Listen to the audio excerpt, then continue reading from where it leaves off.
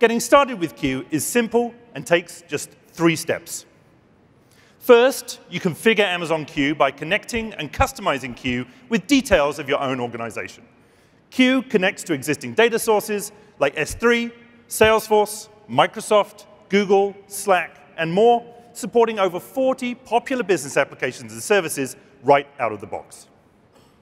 Once connected, Amazon Q starts indexing all of your data and content, learning everything there is to know about your business.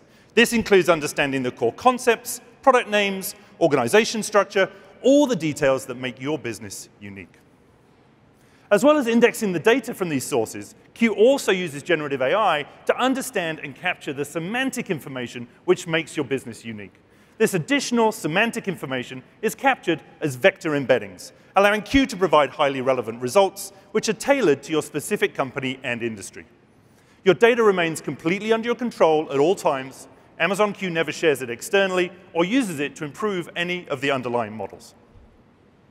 And that's it. Surprise, there is no step three.